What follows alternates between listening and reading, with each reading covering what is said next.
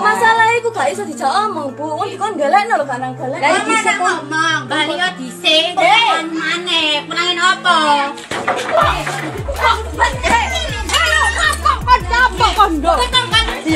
Kronologi emak-emak lempar mangkok ke kepala wanita penagih hutang hingga pecah dan berdarah di Gresik.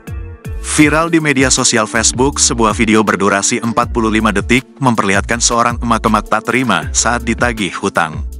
Tindakan kekerasan pun terjadi, petugas wanita yang menagih hutang langsung dilempar mangkok hingga pecah berserakan.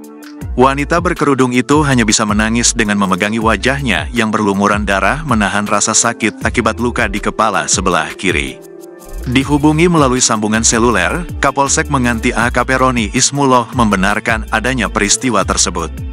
Itu kejadiannya di Desa Sidowungu, Kecamatan Menganti, Gresik pada Jumat lalu sekitar pukul 10 pagi, ujar Roni, Rabu, tanggal 3 April tahun 2024. Dalam video itu mulanya tampak seorang wanita berkerudung hitam dari koperasi simpan pinjam menagih hutang kepada emak-emak yang memakai daster merah. Namun tak berselang lama, emak-emak tersebut masuk ke dalam rumah meninggalkan wanita dari koperasi tersebut. Kepada warga sekitar, wanita berhijab hitam itu mengatakan bahwa debiturnya itu tidak bisa diajak bicara secara baik-baik. Masalahnya tidak bisa diajak bicara bu, disuruh carikan uang untuk mengangsur malah gak dicarikan, ucap wanita koperasi itu kepada salah satu warga sekitar. Perkataan wanita dari koperasi itu lantas membuat emak-emak tersebut langsung keluar rumah. Sembari membawa panci berisi air dan mangkok ia hendak menyiramkan air di panci tersebut ke wajah petugas penagih hutang. Saya kan sudah ngomong, nanti saja balik dulu, kata emak-emak tersebut sembari menyodorkan panci berisi air ke muka petugas wanita saat ditagih. Hal itu membuat penagih wanita itu marah, namun saat coba dilerai, emak-emak tersebut lantas melempar mangkok ke kepala wanita penagih hingga pecah. Kamu rekam kan? Maksud kamu apa bu? Ucap penagih kepada temannya yang merekam video.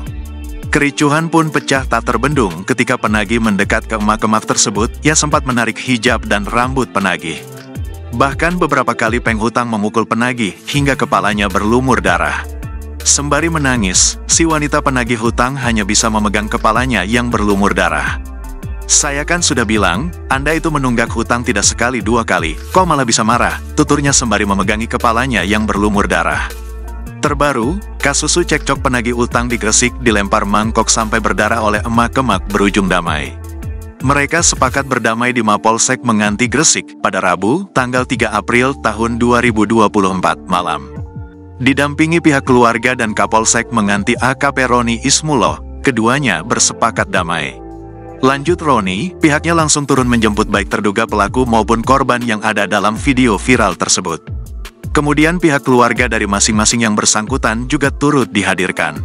Mediasi karena belum ada laporan, saya jemput karena viral di medsos, kami harus bisa menetralisir tidak menjadikan itu pembiaran, duduk bersama semuanya bersepakat damai, ujar Roni. Kedua belah pihak sudah membubuhkan tanda tangan di atas materai, sementara untuk utangnya masih berlanjut.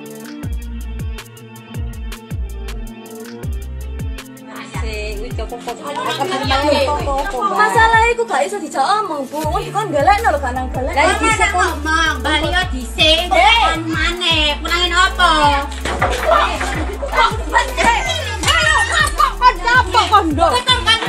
Download Tribun X sekarang.